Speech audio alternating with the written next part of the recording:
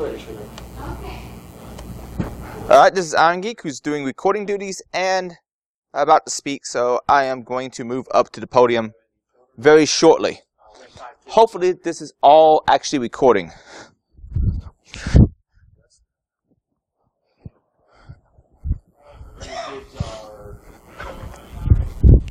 Hello, everybody.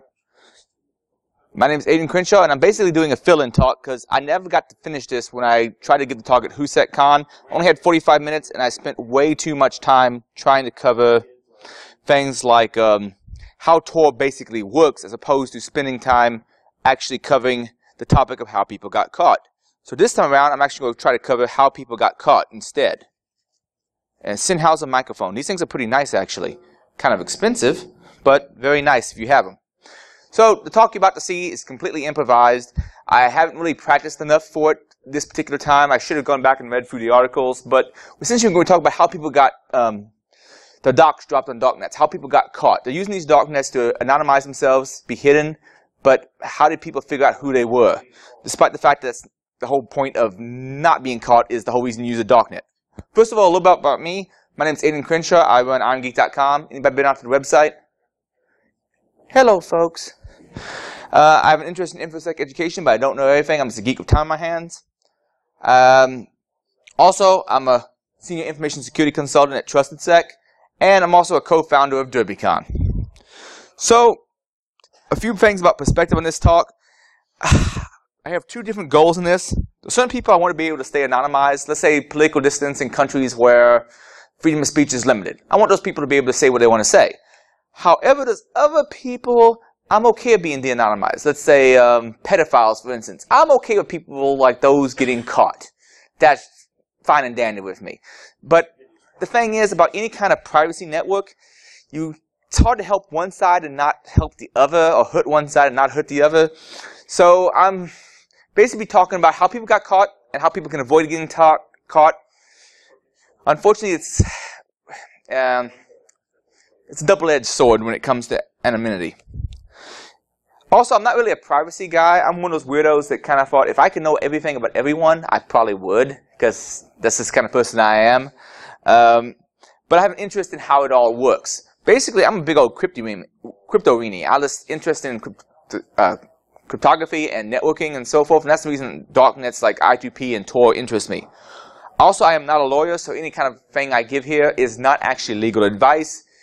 Take it for what it is. Uh, if there is such thing as a soul, I would hope I have one, so obviously I'm not a lawyer. And also, be careful where you surf. If you go ahead and look around these various darknets, you got to be careful where you go because all of certain things you could pick up on your computer. I'm not talking about malware. I'm talking about contraband you don't really want to have on your machine. For instance, I know a security researcher who was doing stuff on de-anonymizing people on Tor. He was looking around and he saw someone had posted on a Chan site inside of um, a darknet a picture of him, his talk, or basically his um, a link to his article, and then right below that was a bunch of uh, child porn. So it's kind of you got to be careful when you're moving around these things. And a lot of stuff, my understanding, like again, I'm not uh, a lawyer, but a lot of stuff is strict liability. You don't want that contraband in your machine, regardless. And you might want to surf with images off, depending on where you go. I'm not trying to make it sound like everything on these dark nets is all CP and so forth. But there's enough out there that you want to be careful where you go. But it's still stuff that's interesting to research. Um, a few old cases I covered in a previous version of this talk. There was the Harvard bomb threat, Eldo Kim. Essentially, his screw up was he was one of the few people using Tor at his campus at the same time, and as soon as the cops asked him about it, he admitted to it. He essentially called it a bomb threat, well, via email. They knew the person who sent it was um, using Tor because they could track it back to one of the exit nodes, and he was one of the few people using Tor at the time. They questioned him, and he just cop to it. He wanted to get out of taking an exam. Uh, Lulzsec with Hector. Uh, essentially, uh, Sabu and Jeremy Hammond got caught because Sabu most of the time used Tor to connect to IRC, but one time screwed up and didn't. The one time he screwed up and didn't, they figured out who he was. Then he turned on everybody else, and eventually they found Jeremy Hammond. Jeremy Hammond consistently uses Tor, but they figured out the times where this particular actor in Lulzsec, who was Jeremy Hammond, he, when he was on Tor versus when Jeremy Hammond was at home, they were able to correlate timings and figured out it was him. You know, they got a pin device hooked up and they was able to eventually figure out who Jeremy Hammond was. Also, he leaked various things on, um, I think, IRC when he was talking to people over Tor about um, where he'd been arrested or been in uh, detained before at various political activist meetings. And there's only so many people with his particular skill set and his particular politics out there, so it was pretty quick to figure out who he was. Freedom Hosting, uh, Eric there, my understanding he got caught maybe partly because they eventually found what service he was on, and there was a money trail back to him and who was paying for the service. Because someone might buy virtual hosting someplace, set up Tor on it, but if they trace it down to what the real servers are, and then they capture those, and then they figure out who's paying for them, well, they can figure out who's who. That's the old cases I covered in a previous talk. Now, right now, I'm going to skip past a whole lot of the background stuff because that's what took so much time during the previous talk. How many people here actually are familiar with Tor and I2P and how it works? You're familiar with Tor? You're familiar with Tor? For those who aren't, think about it this way. Tor and I2P are basically a series of proxies using multiple levels of encryption where you forward something into the darknet, you have multiple levels of proxying, each person has their own cryptographic key that they encrypt everything with, and so one person doesn't know who's talking to who, and no one can necessarily look at whose traffic is sending what until it gets to an exit point or it gets to its endpoint inside of the dark net. That's a massive oversimplification, but I'm doing an oversimplification because otherwise I have to go through all these slides, which take way too much time to go through, and that's what took up probably like 30 minutes of the last talk. Because I want to actually get to the part where people got caught, and I want to cover why people got caught. Oh, by the way, most of this is going to be about I2P because, sorry, most of this is going to be about Tor because not many people, at least not many uh, incidents that reach the news involve I2P. That's not because um, I2P is necessarily completely inherently more secure than uh, Tor, but it's just not as popular as Tor. So, um, but a quick shout out to I2P. If you want to look for an alternative to Tor, I2P's focus is more internal. Oh crap! Yes, looks like you did. What did you try? What did you pull out? What, what are you pulling? This. Is that power for you? No. Yeah power cord.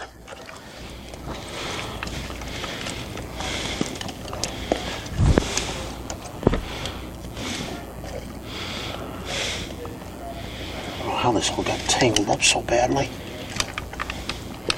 Alright, um, something of mine got unplugged. Power.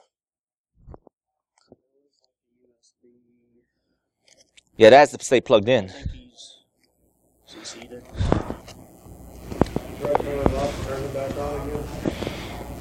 Apologize. Didn't know it was.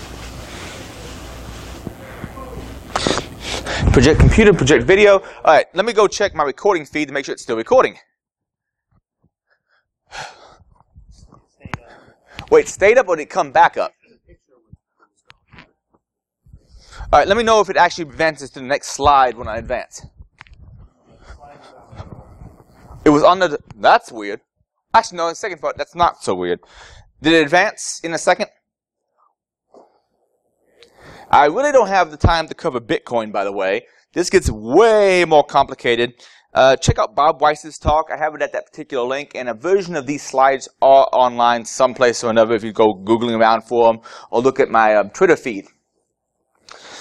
But a lot of these um, sites I'll be talking about actually accepted Bitcoin as the rate of currency. So, First of all, I'm going to cover a bit of stuff I, I did cover in a previous talk. And, uh, but there was more information that came to light of Silk Road after the court case came through and so forth. So, a little bit about Silk Road. This was case three, I believe, in my original talk. So I basically have expanded from original talk and we'll cover two new cases once we get a little bit further in. All right, someone going by the handle of Dread Pirate Roberts was an operator of the Silk Road, which allows sellers to buy and exchange less than legal goods and services. Most of this involved drugs, and it was available at that particular URL. But that particular URL you see there, that is generated because there's a tool called Scallion where you can brute force um, potential onion names. Normally, the onion name would be a completely random thing, but if you only want to uh, brute force the first few characters of it, you can do that. I'm guessing there's going to be something that um, decreases your anonymity from doing that. But regardless, that was the particular um, name they were using for a while. And from the court documents, they sold all sorts of stuff. So we, cannabis, dissociatives, ecstasy, intoxicants, so on and so forth. There was also maybe some hitman services out there. There's a few things you couldn't sell, strangely enough. Like I want to say you couldn't sell fake diplomas. I mean, you could sell fake IDs and so forth. So I'm not sure why fake diplomas was one of the things you supposedly couldn't sell. But there was a lot of various things that would be um, illegal or pseudo illegal out there. So with about 1.2 billion in exchanges on the Silk Road, the FBI, FBI want to know who was behind this, obviously.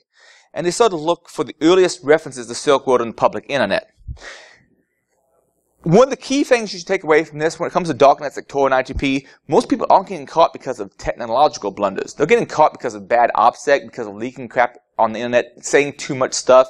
Things that are basically it's not so much the core technology itself. Sometimes it's application security on the on the clients. Like someone was saying a few years ago, people aren't necessarily hacking the servers; they're hacking the clients because ultimately, if you can get someone to click on some silly stuff, as uh, well, Boris Zvelvik, am I pronouncing that right? Boris, who um, can't make it this particular year, a jaded security, uh, as he's fond of saying, "Don't click shit." Most of uh, the people who got de-anonymized on Tor, it's been either application security stuff, or it's been, or well, sorry, endpoint application security stuff, or just bad OPSEC. So, you know, FBI went out looking for the earliest stuff on the internet they could find related to uh, the Silk Road. And they found this particular post on Shroomery, where someone said, I came across this website called Silk Road. It's a Tor hidden se- service that claims to allow you to buy and sell online anonymously. I'm thinking of buying on it but wanted to see if anyone here had heard if it or could rec- uh, sorry had heard of it and could recommend it. And he points out the way you can find it and uh, let me know what you think. Essentially, the entire thing is written as someone who's already involved with the site. And the person who posted it was going by the handle Altoid. Okay. Also on Bitcoin Talk, someone had posted this particular little entry, also as Altoid, what an awesome thread. You guys have a ton of great ideas. Has anyone seen Silk Road yet? It's kind of an anonymous Amazon.com. And I don't think they have hair in there, but they're selling other stuff. Basically, they basically use Bitcoin and Tor to broker anonymous transactions. It's at, and he gives the URL for it. Those not familiar with Tor can go to Silk Road 420 WordPress.com for instructions on how to access the Onion site let me know what you guys think. So Altoid is pretty well tied to this. He's the first person that posts about it. The first person that posts about it online might very well be the organizer of it. And pardon me while I tie my shoes so I don't trip on myself. I don't plan on doing a whole lot of roaming while I'm talking, but so these various posts come up. Altoid is very well tied to it, so let's find out more about Altoid eventually.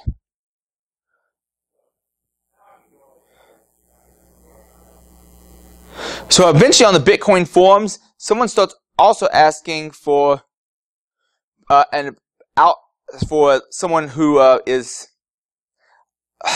a Bitcoin expert to help him with some work he's doing. And he posts his actual Gmail address that happens to have his full first name and last name in it.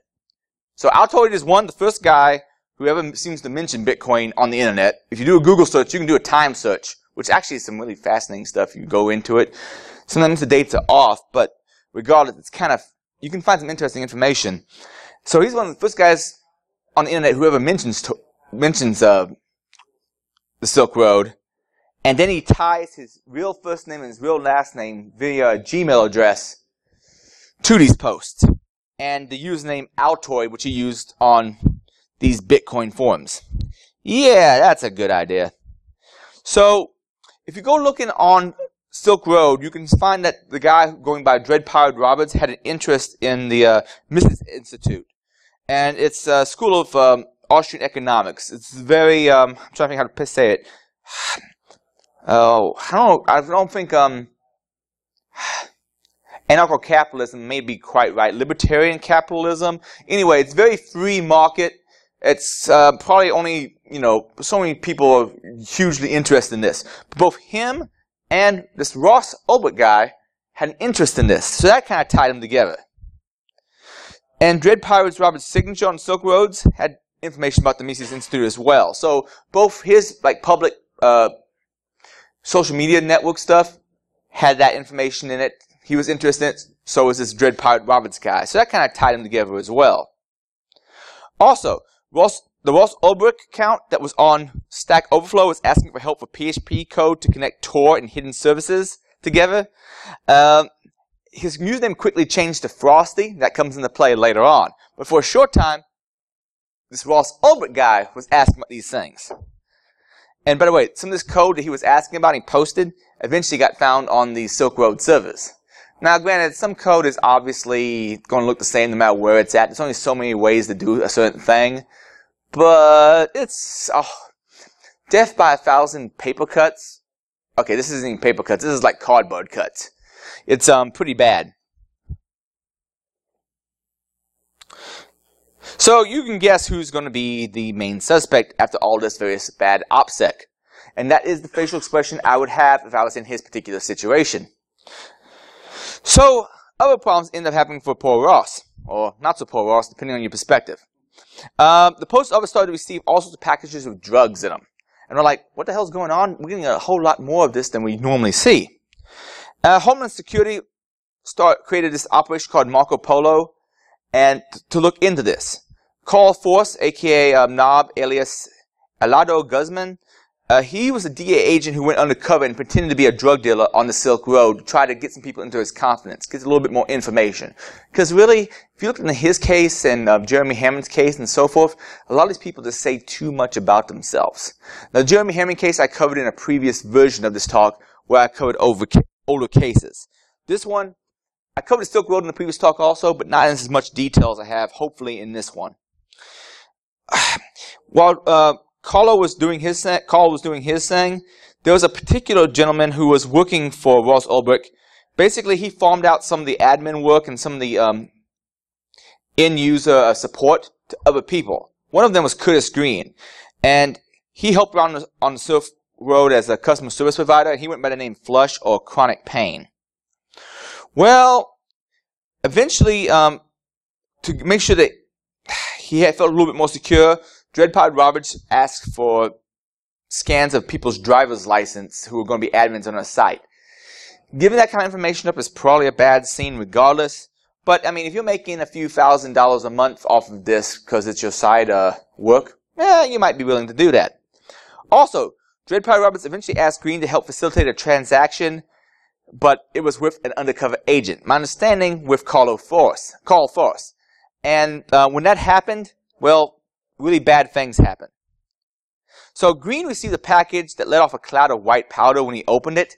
This was in one of my articles. It wasn't clear if it exploded or if it was just all powder and it's like, and apparently it was actual drugs if I remember how the article was written.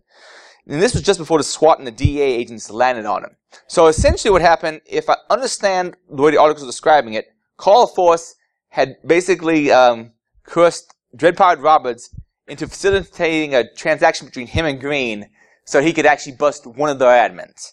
And once you have one of the admins, if they have a little bit more resources on the server, it doesn't take long to figure out maybe what the server is and where it's actually located. Anyway, Green gets landed on by Carl, and uh, DPR, Dread Pirate Roberts, noticed the absence of Green out there. He wasn't able to, you know, do his normal job.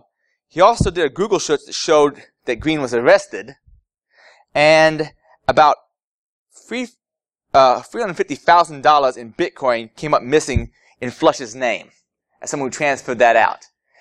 Yeah. This, by the way, comes into further details because Carl gets into a little bit of trouble a bit later because apparently he was um, uh, dipping into other people's pockets. But regardless, because of what Carl did, it looks like, and again, I'm not a lawyer, I may be misunderstanding it, so I don't want to be sued for any kind of defamation.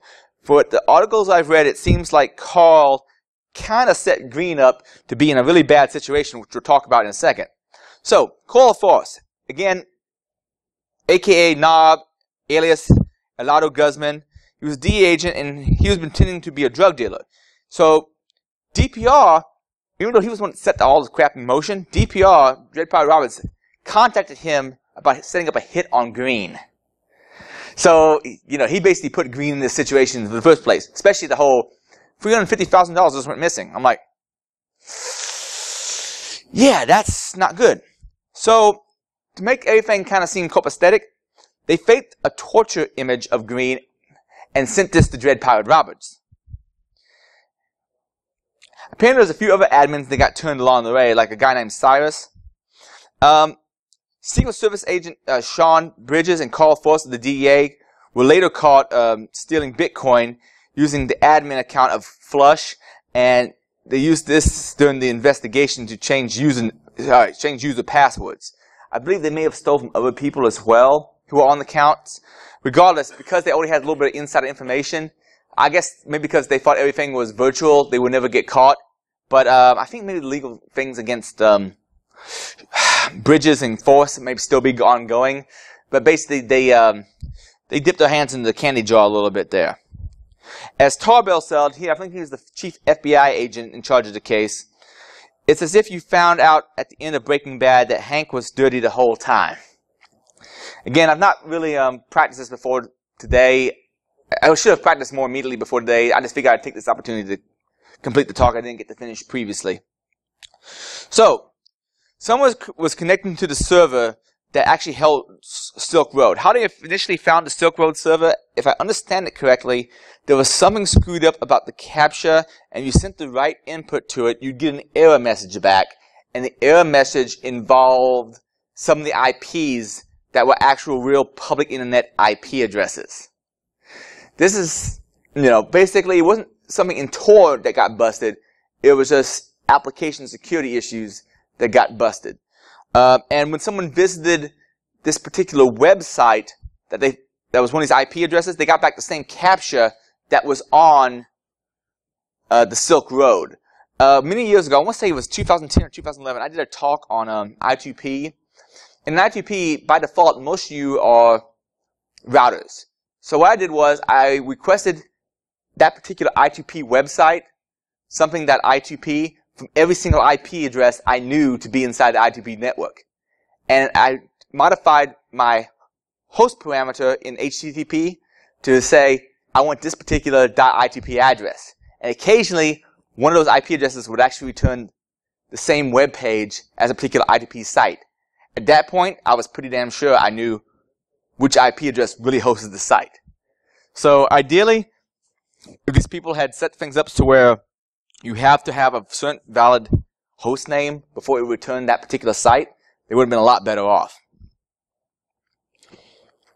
Also, various things that uh, Dread Pirate Roberts said seem to indicate that he lived in the uh, Pacific time zone, and it's already known that Ross lived in San Francisco. So, the IP of the Silk Road server was attached to uh, via a VPN server that was connected to by an IP belonging to an internet cafe on Laguna Street in San Francisco from which Ulbricht had uh, also connected to his Gmail account, both on June 3rd, 2013. So this particular cafe, someone had attached to the actual server that Silk Road was run on, which I believe they found via some kind of application problem on the server itself. And this IP had also attached to Ross Ulbricht's Gmail account. So that's something else that ties to him. Uh, a PM to Dread Pirate Roberts from a user said that the site was leaking some sort of IP address belonging to the VPN. Apparently, this was on a Reddit thread too. And I believe that's the Reddit thread that was talking about it. So, because of various application security problems on the site itself, they figured out where the machine was. FBI agent Christopher Tarbell tried to cause an error by tossing various things at the Silk Road. One of the things I normally do on any kind of web application pen test I throw single quotes, dashes, any maybe weird Unicode, anything I can do to get an error, because sometimes an error message will tell you things. Now, in the case of most websites, having its real IP doesn't give me good information because I can use the NS lookup that. Telling me an internal IP address, while I may report it in a report, it doesn't really give you a whole lot of information. But when it comes to anonymity and trying to stay private on Tor and I2P, that shit means a whole lot. Um, so they found out this particular IP address. It was at the Thor data center in Reykjavik, Iceland. And it also, when they requested that particular IP address in a browser, the same captcha that was for Silk Road came up. That goes back to my talk about I2P, where when I requested that particular host name across all those IP addresses, even though it wasn't a valid host name for the public internet, it was something.i2p, it would return it because the way the web server was configured. So they was like, okay, this is part of the I2P of the actual Tor server. Let's go confiscate it and take a look around the server. And if I understand how it was working, I think it had um, RAID disks and set up in such a way that it was completely um, parallel, so they'd be able to just pull out a disk and take it and not necessarily have downtime. If I understand how they had it hooked up. Regardless, they were able to get an image of it. So the FBI starts taking down Silk Road servers.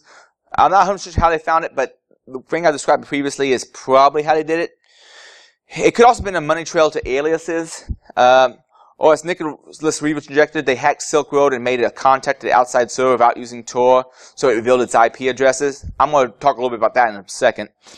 Uh, once located, FBI was able to get a copy of the servers. So, a few things. One thing, and they found this out later when um, Ross's laptop was confiscated. Ross kept a diary and log of sorts of what all he was doing online. Apparently, a few things going on, like those are protection rackets that was getting around, I believe it was 50,000 per week uh, to not DOS the site. Also, in May 13, attackers. Um, man, I need to check my grammar next time I do one of these talks. Uh, May 15th, attackers had kept the sound the, the, site down for like a week, so he was getting extorted from other people uh, to get money f- from him because of uh, they're like, well, you know, you're, you're underground, I'm underground, let's make some money. Anyway, user-friendly chemist apparently also hacked a username uh, Lucy Drops system and got a list of users and emails and tried to blackmail Ross.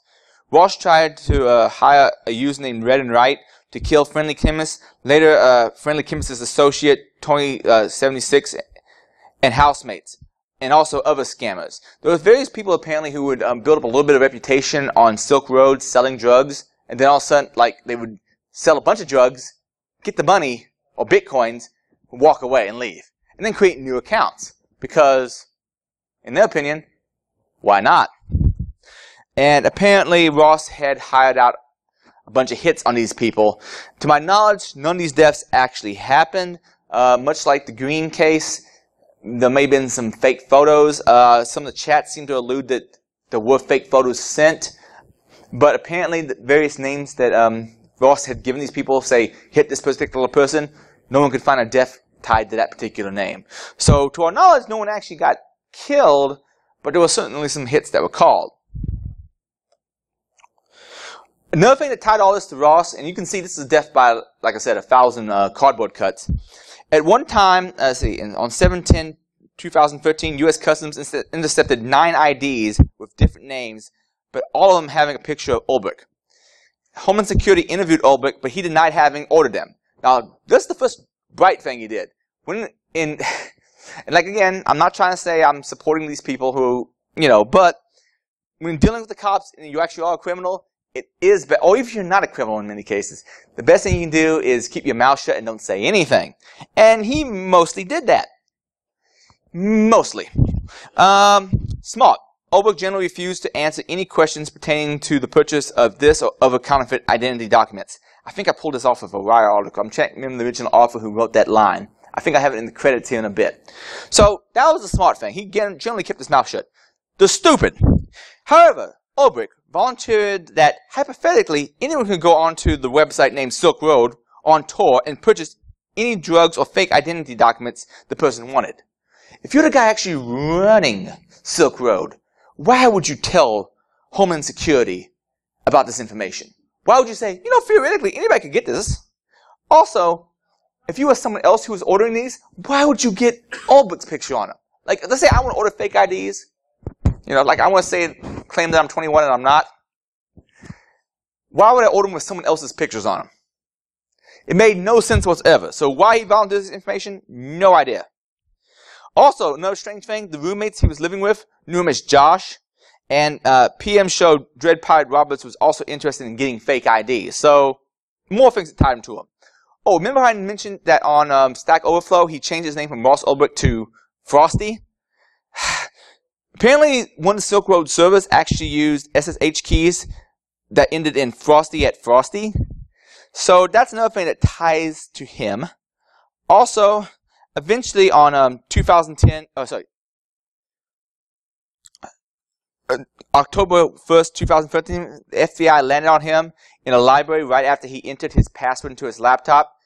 And what they did was, strange enough, they I think they staged a fight between a man and a woman behind him or something to get him distracted. it's like these people are like, he's like, what's going on? And then someone else reaches up, grabs his laptop, and walks off with it, and makes sure it doesn't lock. Because he apparently was using full hard drive encryption, but someone was able to grab the machine and walk off with it. The Jeremy Hammond case I mentioned before and did in more detail in the previous version of this talk, Jeremy Hammond apparently did get his laptop shut before anybody else could get to it. Oh, great. The guy from Freedom Hosting I mentioned before, him, he was said to have dived for his laptop, but didn't quite make it. So a lot of these cases, you know, to really get all the evidence, they have to get to the laptop. And these people who were really bright about it, they were like, they staged a fight behind them and then while he was distracted, grabbed the laptop. And he got caught really dead to rights. Uh, he apparently, and this is uh, irony of it, he'd been downloading the previous night's uh, Colbert report interviewing Vince Gilligan, the creator of Breaking Bad, just after the series finale. So, yeah, if you ever watch that series, it's a great series, um, but it's some interesting um, irony there. Anyway, uh, when caught, Ulbricht supposedly said to Tarbell, I don't suppose 20 million can get me out of this. Another dumb thing to say. I see. Claim was made by Ulbricht's attorney that Ulbricht had started uh, Silk Road 1.0, but sold it off quickly. However, he kept this journal on his laptop, which they were able to get to unencrypted, that seemed to detail a lot more than that. Um, also, Assistant U.S. Attorney uh, Serrin Turner has said uh, there's no dispute when the defendant was arrested, he was logged into as the Dread Pirate Roberts. I think his defense attorneys, and again, I'm not a lawyer, I may have this information wrong, don't want to be sued for slandered by anybody, but my understanding is that they portrayed it in the defense that, okay, I started the site, someone else was Dread Pirate Roberts for a while, then I came back. It didn't really fly. So, Ulbricht ended up receiving a life sentence.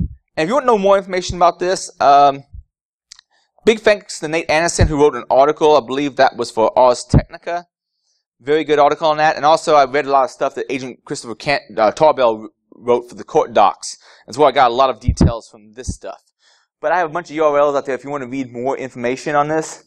It's kind of a fascinating case. But let's talk about lessons learned from uh, Silk Road 1.0. Keep online identities separate. Different usernames, different locations. If they want to be able to tie things to, oh, he's this guy living on the West Coast in this particular location, it would have made it less likely to investigate him privately. Also, if he kept usernames separate, like all the posts he made from Altoid, they connected Altoid to his actual real name via Gmail, and Frosty was both a name that he had on Stack Overflow and also on the server itself when it caught it. That would have helped his case somewhat. Also have a consistent story, having a different name amongst your roommates versus what the cops come looking for you under didn't help. Uh, don't talk about your interest. If he wasn't tied to the Mises Institute, that would help somewhat. You know, if, he, if him and Silk and uh, Dread Pirate Roberts didn't seem to be the same person, that could have helped. And also, don't volunteer information why the hell he told Department of Homeland Security that theoretically anybody could buy these fake IDs off the Silk Road. And he was running Silk Road. That was just stupid. And um, also, don't keep a diary or log of your criminal activity. Never a bad thing to do. Next case I want to talk to is um, Tim um, DeFoggi. Now, he was a former acting uh, cybersecurity director of the U.S. Department of Health and Human Services. So, in theory, this guy should know about security, right? He should understand information security, computers, and whatnot. Well, FBI was running an operation called Torpedo. And Tim appeared to be, uh, pardon me, a user of PedoBook. This was something that was ran by uh, Aaron McGrath, and sometimes you this Tim apparently sometimes used the name of PT Ass Eater. Yeah, we won't go into what exactly that means, but um, anyway, McGrath's site had been seized by the FBI in 2012, and so they modified it to get more information on people. They installed what some people refer to as a network investigation tool, and um, it would phone home to the FBI and tell them information about the clients that visited. Tim's home connection was confirmed to be using Tor. This is easy enough. If you can just sniff the connection coming from his home, you can see what um, boxes he's talking to. You may not necessarily know what data he's sending on the Tor, but you can tell that he's using Tor because you look into the directory servers, which granted I didn't cover in this particular version of the talk because I had to skip all that for the save time. But if you can query those, you can know what directory service he's probably talking to and figure out, okay, this person's on Tor. There's exceptions to that, like if you're using um, bridge nodes, but that's in a previous version of this talk. Anyway, they figured out he was using Tor. And they also, his home IP that he used to access the AOL account, he had an AOL account apparently called PT Eater also. So again, he was tying a username used inside of Tor to a username he also used on the public internet via AOL. Anyway, a little bit about Operation Torpedo. Uh, information returned from Operation Torpedo, the little NIT they installed on people, was the, the computer's actual IP address and the date and time that the NIT determined that the IP address was a unique identifier generated by the NIT and a series of numbers, letters, or special characters. Uh, my understanding is this particular NIT was based on Rapid7's decloaker. You ever used decloaker? It's kind of interesting. They stopped, uh, I think, uh, HD Moore stopped development a while back. Yeah. Moore had stopped the work on it in 2011 since most users were using the Tor browser bundle. But the whole point of using the Tor browser bundle is you can configure Tor yourself and use any browser you want to point to it and stay anonymized supposedly. But if there's problems with your application, like let's say you have an outdated version of the browser and someone's able to use an exploit in it, they can make you contact a server outside of the Tor network and still figure out who you are. Anyway, this guy was probably not using the Tor browser bundle. Apparently, uh, this NIT uh, use Java, JavaScript, and Flash, and did not necessarily have to install any real malware. I think those other NITs in the past that have used real malware as in some kind of executable gets on your machine. You want more information on Decloaker? You can still find it out on archive.org. Anyway, they used this and they were able to find out his real IP address. Uh, there was also been previous uh, NITs out there, like there was a payload called Magneto, which phoned home to servers in Virginia using the host's IP address. You can find information about that out there on a uh, URL I present.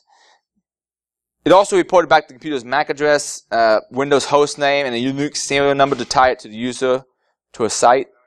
I've seen a different one. I think this was leaked in some of the Snowden documents called Egotistical Giraffe. Um, and a few other ones that have been used in the past, like Magic Lantern, Fox Acid, and uh. Oh, by the way, if you get a chance to see a talk by Joe Cicero, I don't know if it's ever been recorded, Privacy in a Surveillance State, Evading Detection. Check it out. He's talking a little bit about also these kind of uh, NITs that people get installed in their boxes that they're being investigated. But to give you an idea how these things work, essentially, Tor, everything should route information through the Tor network. However, if you can find some kind of exploit or get something like uh, Flash to run, and the Flash doesn't necessarily respect the Tor protocol and tries to access things outside on the public internet, you can serve some, somebody something and then have that something try to contact you outside. So, let's say it's a hidden service. You can send an exploit or payload to it and then have it try to contact you outside on the public internet. So, let's say you found some kind of, um, oh, my, uh, MS SQL injection on a Tor hidden service. There's no reason you couldn't use something like set to send an exploit to it and then say, contact me back on this IP address, and it might very well likely do that. This would be one of the reasons to use a tool along the lines of, um, well, I think I have it in a, in a bit here, but um, Tails, the, uh, how is it, the amnesic, the amnesic something, some incognito live system Linux system?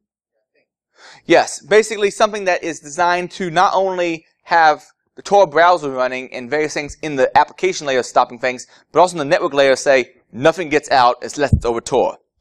Another thing that people screw up if they don't use the Tor browser bundle or they don't configure the browser properly is DNS leaks. By default, if you're doing DNS lookups with Firefox, it, even if you're using a proxy, it requests whatever DNS servers are con- configured for its DNS. Well, here's the problem with that. Let's say you're requesting a .onion site. What it will do is it will request from the ISP what onion site you're accessing. So let's say Silk Road something something something onion. So while your ISP won't see the traffic you're sending to that onion site, they will see that you requested its IP because DNS goes out. Tor browser bundle is automatically configured by default to request all DNS entries go through the Tor network. So, a few things we can learn from um, Tim's case. Don't be a pedophile, first of all. Uh, use the Tor browser bundle, because apparently, from what I've read of how he got caught, he apparently didn't.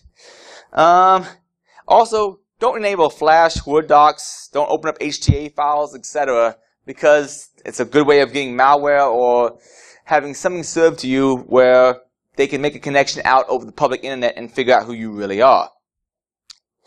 Next case is Blake Benthall and Operation Omnibus. Uh, around October 7th, uh, conversations had started about making a replacement for Silk Road 1.0. One person invited to the conversations was an undercover Homeland Security investigator. And eventually, he became hired as an admin on Silk Road 2. So from the very beginning, Silk Road 2 already had a government agent involved in it. So Silk Road 2.0 began operation on November 6, 2013, and it was started by Dread Pirate Roberts 2.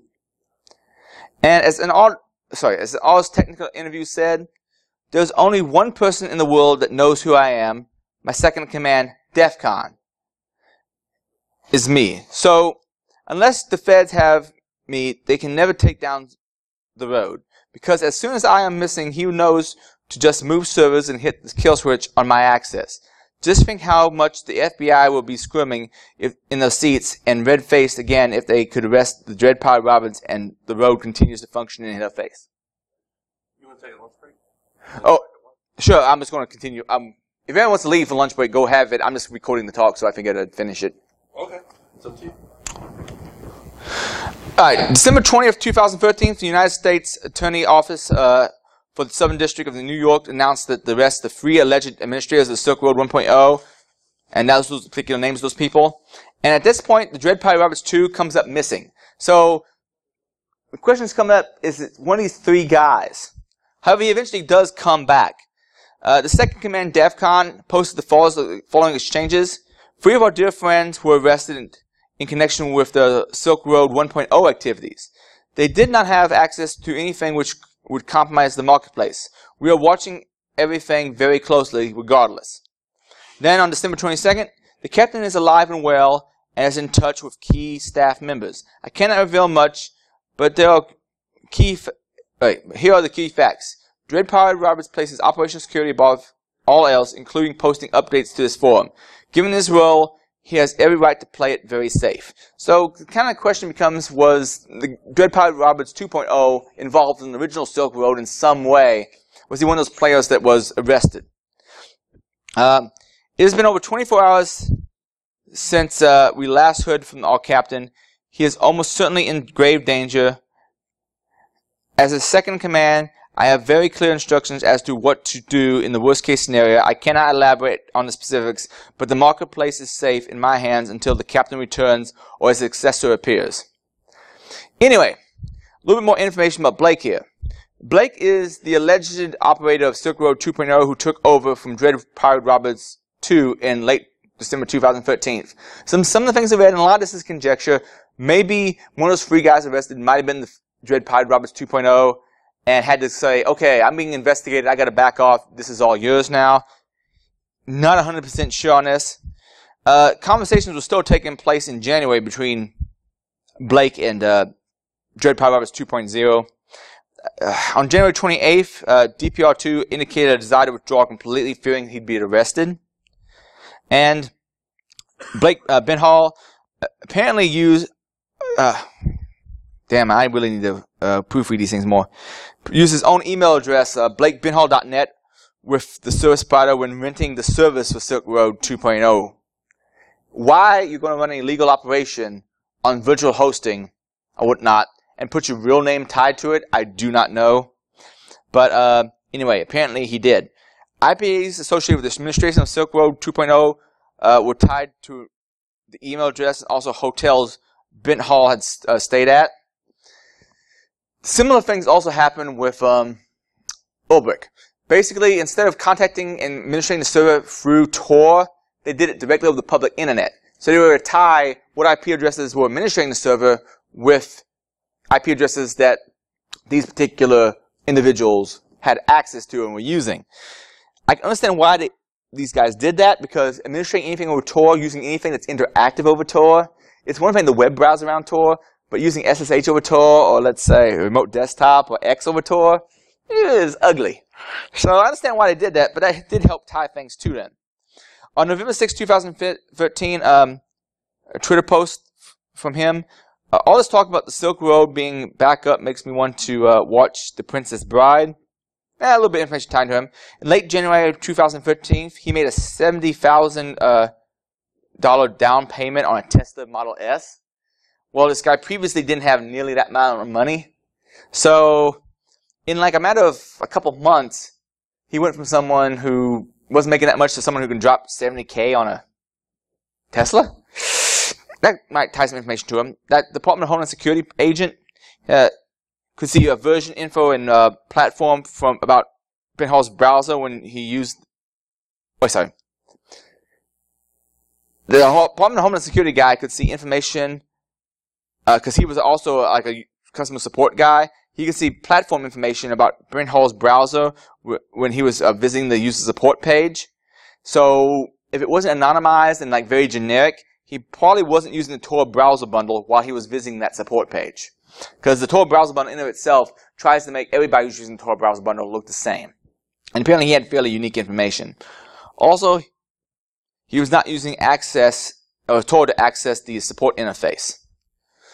Eventually, there was nothing to tie stuff to Blake that uh, they got a pin register on his internet connection, and they figured out he was using Tor, and um, Benthall's comings and goings from where he was living were tied to uh, DEF CON's time on Silk Road 2.0. On September uh, 11th, 2000, wait, September 10th, 11th, I have two different dates in there. Uh, DEF CON let his staff know, around 10th and 11th, um, DEF CON let his staff know that the site had been hacked and Bitcoin stolen. Apparently, whew, $1.4 million worth of. Damn, that's a lot. And in late May, ho- the hosting server was imaged by uh, authorities, and uh, the downtime was noticed by DEF CON. All of a sudden, you notice that, oh crap, uh, the servers are down for a bit. Is something going on? This is kind of suspicious. And uh, during Operation Omnibus, uh, four, sorry, 414 Dot .onion domains were seized, including the Silk Road 2.0. On November 5th, 2014, uh, Benthall was arrested, and conjecture is that the relays nodes along the path were DOSed, causing a pattern that could be seen. Essentially, I'll have an illustration of that in a graphic here shortly. This uh, attack may have possibly used abuse of the introduce, sorry, the introduce message. Uh, some people at Carnegie Mellon had uh, done some research on this and were going to present it at Black Hat 2014, but the talk got canceled. You can look up Tor ticket uh, 15463 if you want to know more information about it. Apparently, there's a new Silk Road out there though already called Silk Road Reloaded that's now an I2P network instead of Tor. I haven't really looked too much into it, so as far as I know, that one could already be down. But there's all sorts of other um, dark place markets out there as well, like Agora and so forth. Um, if you want more information on that, here's a good document for you. A little bit more about correlation of endpoints. There's a few ways you can do it. One way is if you can monitor enough of the network, you can notice when someone sends a certain amount of data into it and out of it. While it might be all encrypted and have different keys every point along the way, if you see like about 15 megs go out this one way and 8 megs come back this other certain direction, and it's always through the same pipes, you can kind of do um, signals intelligence and figure out who may be talking to who. There's also timing correlation of when data gets sent. So one idea is to do a, a DOS attack along the path and try to add a little bit of timing. Like I'm doing a DOS attack now. Are things slow down? Stop doing a DOS attack. Okay, I figured out you're taking this path. Let me try to trace that back to who's talking to who. Pulse the flow of the data if you're one of the people who happens to be along the path. Or even just change the load in the path. Anyway, lessons learned from Blake here. Don't connect your name to anything. Like, don't buy the servers in your own name if you're going to be running illegal stuff on them. Trust no one. For instance, if they hadn't had a federal agent already involved in Silk Road 2.0 from the very beginning, he may not have got caught. Use the Tor browser bundle. If he had administrated things over the public internet and instead administrated everything over Tor, that'd be one less thing to tie to him. Uh, don't buy flashy stuff. If all of a sudden you go from, um, well, I'm not sure how poor he was originally, but I'm guessing that someone his age can't normally drop 70k as a down, oh, sorry, as a partial down payment on a Tesla. Yeah, uh, that's kind of suspicious. And uh, also, be paranoid about downtime. Once he notices the downtime, it might have been time to back away because he noticed, oh crap, someone may have the servers, may be investigating. Crud, this is not a good scene. Side stuff, if let's do more research on uh, Tor and darknets and so forth, there's some stuff I need to do, a little more looking into. Apparently, the feds tried to subpoena Reddit uh, in an effort to learn about users behind the dark web um, uh, subreddits on there. And Ars Technica has an article about that. Demos, don't really have time for demos, don't plan on do it. But if you want more information on how darknets work, I have a ShowMeCon uh, talk from a while back. I also have a DEF CON version out there. That's basically part one of this talk. I also have a talk on darknets in general where we talk about setting them up and so forth and what they are. Uh, the I2P FAQ is out there if you want to learn more about how I2P works. There's also the Tor FAQ, Tor manual, and um, a bunch of information on how to get on these various darknets. I have like a three hour class about setting up Tor and I2P if you want to go check that out. Also have my Tor and I2P notes for text notes that basically cover this class. Um, I did a talk a while back on attack strategies where I go into more details about how someone could try to de-anonymize somebody. And I have some old videos of mine about basically using Tor, some stuff about setting up hidden services, um, some stuff about de-anonymizing people using things like decloaker, and uh, so on and so forth. Quick announcement, DerbyCon next year should be happening September 20th through 2006. And a few other good cons to check out are Louisville InfoSec, SkyDogCon, GrrCON, Circle City Con, and ShowMeCon. And that's about it. Does anybody have any questions? Sorry if that was a little bit ill prepared. I wasn't expecting to give this talk, but I figured I had the time and um, I had a camera, so I might as well. Any questions? All right then. Well, thank you very much for your time, and uh, you all enjoy lunch. I'm gonna go up and eat some Mexican.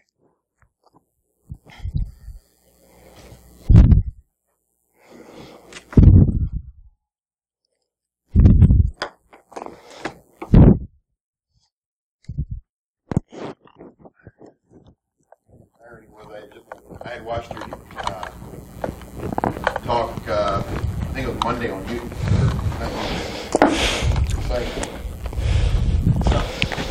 Which talk? Actually, this one before it got appraised by.